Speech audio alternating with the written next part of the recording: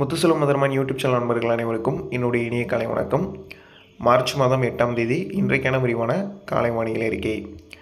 இந்த வானிலை அறிக்கை பொறுத்தவரையில் தொடக்கம் முதல் முடியும் வரை அதாவது இறுதி வரை இணைந்திருந்து கேட்டிருந்தால் மட்டும்தான் அனைத்து வகையான வானிலை சார்ந்த தகவல்களும் நீங்கள் கேட்க முடியும். அதனால் இறுதி வரையிலும் அறிக்கையை தொடர்ந்து இணைந்திருந்து கேட்குமாறு அறிவுறுத்துகிறேன்.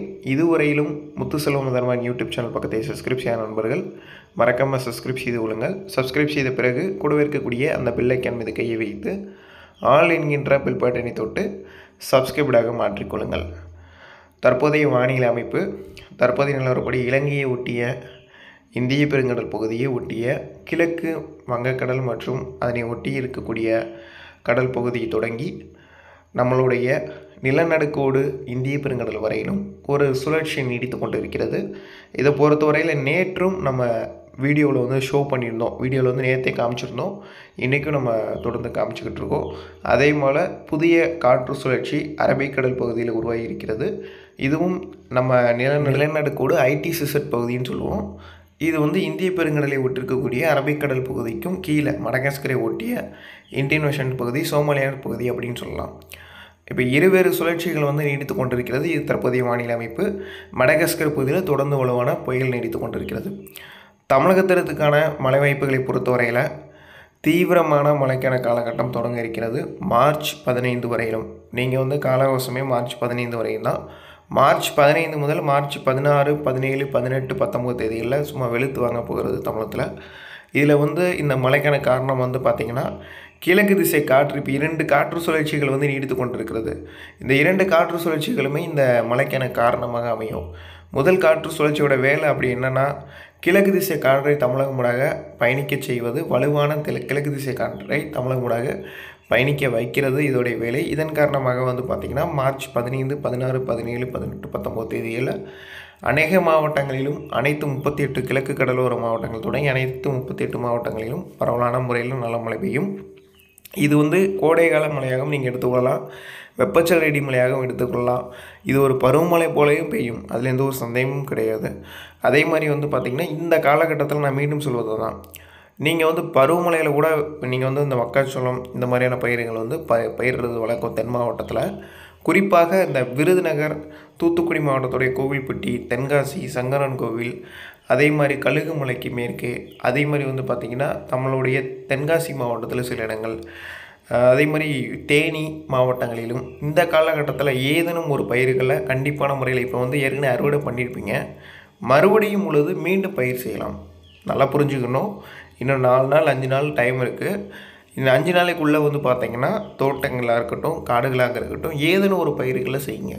மீண்டும் மறுசுழற்சி பண்ணி மக்காச்சோளத்தை போட்டிங்க அப்படின்னா மறுபடியும் வேறு ஏதாவது பயிர்களை போட்டிங்க அப்படின்னா மார்ச் மாதம் பதினைந்தாம் தேதி தொடங்கக்கூடிய மழைப்பொழிவு ஒட்டுமொத்த முப்பத்தெட்டு மாவட்டத்திற்கும் மழை கொடுக்கக்கூடியது. இது தொடர்ந்து நீடித்து கொண்டே இருக்கும்போது உங்களுக்கு வந்து வாரத்திற்கு இருமுறை அல்லது குறைந்தபட்சம் மார்ச் மாதத்தில் பதினைந்தாம் தேதியிலேருந்தே நான்கு நாட்கள் தொடர்ந்து தென் மாவட்டங்கள் அனைத்து இடங்களிலுமே மழைக்கான வாய்ப்பு இருக்குது அப்படி பார்க்கும்போது குறைந்தபட்சம் உங்கள் பதில் மூன்று மழையாவது நல்ல மழையாக பெய்துவிடும் மார்ச் பதினைந்துலேருந்தே. அந்த மாதத்தின் இப்போல்லாம் வந்து மாதத்திற்கு வந்து ஜனவரி பிப்ரவரியில் மழையே இல்லாமல் இருந்தது. இப்போ மறுபடியும் மார்ச் மாதத்தில் ஒரு திடீர்னு இவ்வளோ மழை வரும்போது நீங்கள் பயிர்கள் ஏதாவது ஒரு மக்காச்சோளமாக இருக்கட்டும் புதிய பயிர்கள் ஏதாவது பயிரிடும்போது இந்த காலகட்டம் உங்களுக்கு ஒரு சிறப்பான காலகட்டமாக அமையும் என்பதில் எந்த ஒரு சந்தேகம் இல்லை. பிறகு மார்ச் மாதம் பதினைந்துலேருந்து தொடங்கி அப்புறம் ஏப்ரல்லையுமே நல்ல மழைக்கான வாய்ப்புகள் தான் காணப்படும். அப்போ மேலேயுமே தொடர்ந்து நம்மளுக்கு கோடைகால இடிமலைகள் காணப்படுகிறது. அப்போ வந்து உங்களுக்கு வந்து மழை அடுத்தடுத்து அடுத்தடுத்து சுற்றுகள் வருகின்ற காலத்தினால இந்த காலகட்டத்தில் எதனா பயிர்களை செய்யலாம். அதே மாதிரி வந்து பார்த்திங்கன்னா ஜூன் மாதத்தில் வந்து வட மாவட்ட விவசாயிகள் எதனா பயிர்களை பண்ணலாம்.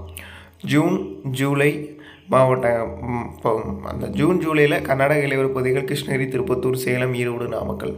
இவர்கள்லாம் இந்த வருஷம் கொஞ்சம் சுதாரித்து ஜூனில் பண்ணலாமா வேண்டாமான்னு குழப்பத்தில் இருக்க வேண்டாம். பண்ணிக்கோங்க.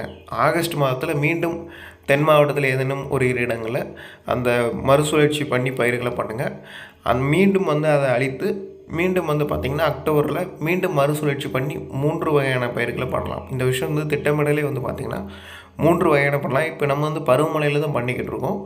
பருவகாலத்தையும் தாண்டி நம்மளுக்கு வந்து அதிகமான மழைப்பொழிவு கோடை மழையிலேயே சில இடங்களில் உள் மாவட்டங்கள் கிடைத்து விடுகின்றன.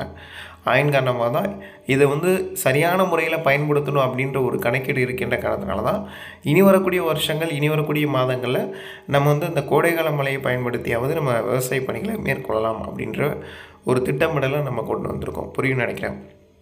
பெரும்பாலான மாவட்டங்களில் மார்ச் பதினைந்தாம் தேதி அநேக இடங்களிலுமே மழைக்கான வாய்ப்பு இருக்குது இதில் கனமழை முதல் மிக கனமழை பொறுத்தவரையில் தென் மாவட்டத்தின் உள்பகுதிகளான மதுரை விருதுநகர் தேனி மற்றும் திண்டுக்கல் மாவட்டங்களில் சில இடங்களிலும் அதே மாதிரி கோயம்புத்தூர் நாமக்கல் மற்றும் கரூர் மாவட்டங்களில் சில இடங்களிலும் கனமழை முதல் மிக கனமழைக்கான வாய்ப்பு இருக்கிறது. சில இடங்களில் மற்றும் பரவலாக அநேக இடங்களிலும் அனைத்து முப்பத்தி எட்டு மாவட்டங்களிலுமே வந்துடும் இந்த லிஸ்ட்டில் வந்து இங்கே வரும் வராது அப்படின்ல உங்கள் பகுதியும் அடங்கும் உங்கள் ஊரும் அடங்கும். அந்த மழைப்பொழிவை பொறுத்தவரையில் இப்போ மார்ச் பதினைந்தாம் தேதி தொடங்கக்கூடியது நாளடைவில் ஏப்ரலில் சுருங்கி சுருங்கி உள் மாவட்டங்களில் பெய்ய தொடங்கும். ஏற்கனவே இப்போது ஒட்டுமொத்த தமிழகத்திலும் பெய்கிறது வந்து ஏப்ரலுக்கு மேலே வந்து சுருங்கி உள் மாவட்ட பகுதியில் பெய்யும். மீண்டும் வந்து ஜூன் மாதத்தில் கொஞ்சம் பரவலாகும் அதுக்கு பிறகு வந்து பார்த்திங்கன்னா ஆகஸ்ட் மாதத்தில் மீண்டும் பரவலாகும் செப்டம்பரில் வரும். இப்போ குறைந்தபட்சம் தென்மேற்கு பருவமழைக்கு இன்னிலிருந்து கணக்கீடு எடுத்துக்கிட்டாலும் ஒரு மூன்று மாதங்கள் மார்ச் மாதம் எட்டுக்கு வந்துட்டோம். இன்னிலேருந்து எடுத்துக்கிட்டால் ஏப்ரல் மே பிறகு ஜூன். அப்போ இன்னும் ரெண்டு மாதம் தான் இருக்குது தென்மேற்கு பருவமழை காலத்திற்கு. தென்மேற்கு பருவமழை காலத்தில் மேற்கு தொடர்ச்சி மலை மாவட்ட விவசாயிகள் தங்களுடைய பணிகளை இன்று இந்த வருஷம் சிறப்பாக செய்யலாம். சிறப்பான தென்மேற்கு பருவமழை காலமாக அமையும். வானிலை அறிக்கையுடன் தொடர்ந்து இணைந்திருங்கள். மார்ச் பதினைந்து முதல் நல்ல மழைக்கான வாய்ப்புள்ளது நன்றி வணக்கம்.